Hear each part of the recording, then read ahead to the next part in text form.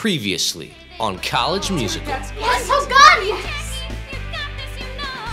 Because we have this friend, Danielle, who really likes you. So when's the date? Sunday, 3, Blue State Coffee? That works. I'm ready to go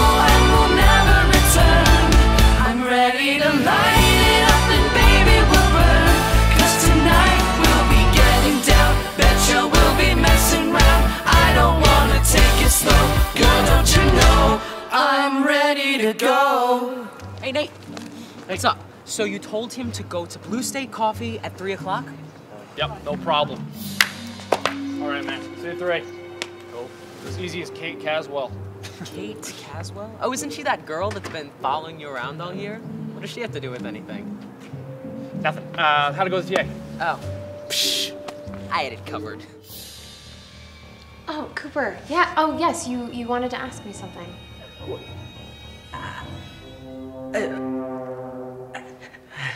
Ovid. No problem. Cool, cool. All right, everything's going according to plan. What do we got so far? All right. Phase one. Select a seductress, female, 18 to 24, horny, hmm. preferably with intense feelings of repressed sexuality. Check. Phase two, convince said girl that a strange man is in love with her, who, despite lacking the confidence to speak to a woman, still happens to be extremely attractive. Check. And phase three, get the boyfriend to be at the coffee shop where he will be unable to resist aforementioned horny girl, thus securing Cooper, me, the chance to live every guy's dream. To bone my TA. Wow. Yeah. Um, okay. Well, I'm gonna swing by office hours today and talk to the TA and talk you up like the champ you are. I'll see you later, all right? Oh, wait, Nate. Yeah. I just want to thank you for doing this all. Oh, I, I never could have done it without you. And Fine. and if I ever do get the chance to to bone my TA, I won't be able to help but think about the one guy that made it all possible. All right. Wait, did you just say you're gonna think of me while you're doing it? No, no. Oh, I- uh, no, I I, was- am just making sure. No. You know. 'Cause no. It was so awkward. Uh, yeah. I totally thought you were gonna kiss him, and then you had to just let go of his face. Maybe I should have kissed him. I mean, at least then he wouldn't have been able to completely ignore me for the rest of the night. oh, he didn't ignore you? Jackie, come on. What are you so worried about? After tonight, we are gonna be hanging out with those guys all the time. And Cooper will get to see just how special you really are. Okay? All I have to do is, uh, work a little magic with their friend. You cannot lose control of yourself, okay? I mean, I know you haven't seen Michael in like four months, but you have to contain yourself a little bit, or else he's gonna think you're a total slut. Oh, yeah, guys hate that. I'm serious. Okay, whatever you do, just get a second date, okay? I mean, this is really important to me. It's, it's, like, it's like my only chance to get close to Cooper. Okay, Jackie, relax. Okay? It'll be fine. Besides, I'm only doing this for you.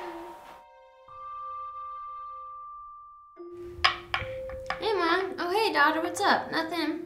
Oh my god, look at your back. You've got so much backney. Backney, what's that? It's acne on your back, stupid. Oh, look, and you've got chest chestney. What's chest chestney? Kenny Chestney's got nothing to do with my back.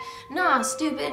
It's acne on your chest, right above your boobies. How do you expect anyone to motorboat you if you've got chest chestney? Oh, Mom, that's gross. I don't talk to you about sex. You can't throw that at me. Shut up and work out more. Oh, uh, Nate. Um, come on in. I don't see you at office hours often. Uh, yeah, I know. Uh, I just like after today's class, which was so moving, I had to, you know, come in and tell you about it. Uh, well, you know, after after we read that poem, I, I couldn't help but feel all these feelings. You know, um, I just I felt like I wanted to go out and live life to the fullest. You know, that poem was just so inspiring. The Raven by Edgar Allan Poe. Uh huh. Yeah. Well, I don't really, you know, remember the words and stuff, uh, but that's because I was paying so much attention to the emotion. The emotion. Yeah. Uh huh. It really made me value, yeah, um, life, and and love, um, and friendship. You know, and speaking of friendship, you know, who's the best friend in the world? Cooper. Yep. You two actually have have a lot in common. Yep. He's been trying to get me into poetry this whole semester, uh, and I know that you and him are really both deeply passionate about poetry. And well, I'm sort of coming around to it, but you know, he's such a cool guy. I'm really not that into poetry.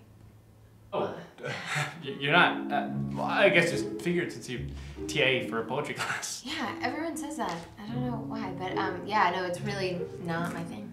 Oh, okay. Uh, then, then what is your thing? Actually, um, you really want to know what I'm passionate about, uh, I have a volunteer job at the psych lab.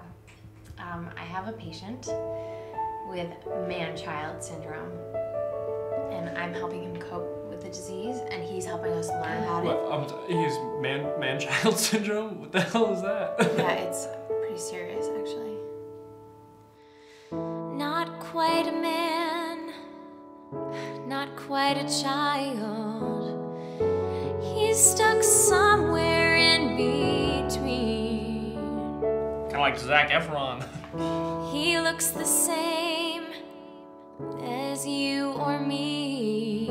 Except you're not a dude. But looks aren't always what they seem.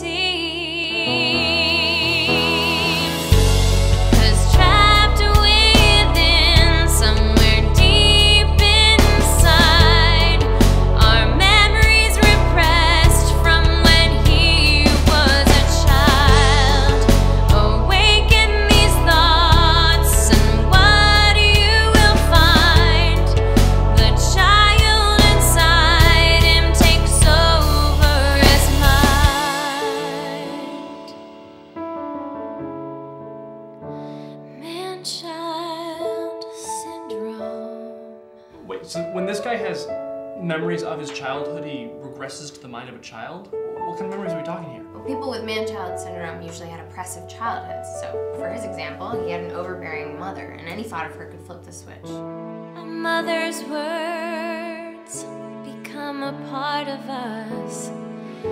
They last forever in our minds. Sounds kind of Freudian. So you never know what might set it off. It could happen any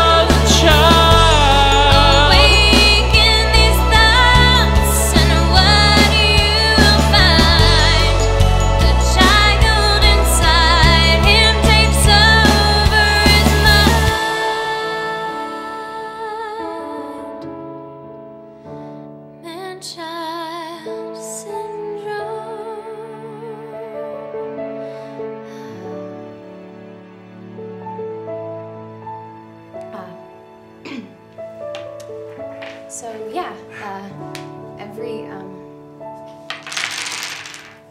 every day after class, I uh, I go and meet with him and see what's going on, and I, I really do think that we're um, we're making progress. Well, you mean after our class? Yeah, T- Tall, skinny, uh, leather jacket? yeah, that's him. That guy has man-child syndrome? And he's not your boyfriend. No. Oh